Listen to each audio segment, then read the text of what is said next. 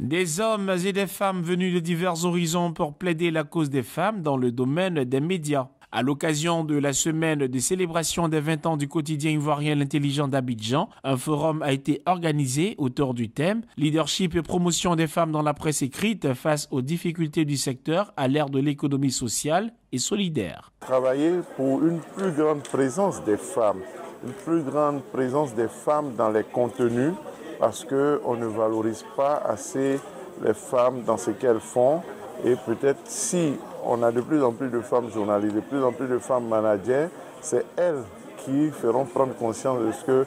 les femmes doivent être euh, de plus en plus mises en avant dans les productions, dans les contenus. Pour les différents panélistes, permettre une meilleure représentativité des femmes au sein des médias reviendrait à mettre en place des mécanismes forts pour les accompagner, mais surtout les former davantage à prendre des responsabilités et se faire confiance. Plein de femmes ont du potentiel,